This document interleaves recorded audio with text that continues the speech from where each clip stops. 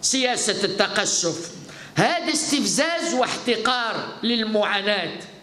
وفي نفس الوقت هذا التصرف يعكس جهل كلي une ignorance totale نتاع المسؤولين للواقع.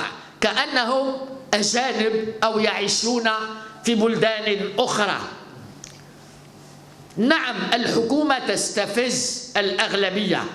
عندما تصرح بعدم إنشاء أي منصب شغل جديد في قانون المالية باستثناء قطاع التربية الوطنية. استفزاز وليعلم الجميع أنه إذا تجرأت الحكومة ومست قانون المحروقات باش ترجعنا لنقطة الصفر تاع 2005 انذاك مش المراهقين اللي راح يخرجوا للشارع لا راح يخرجوا كل الجزائريين والجزائريات.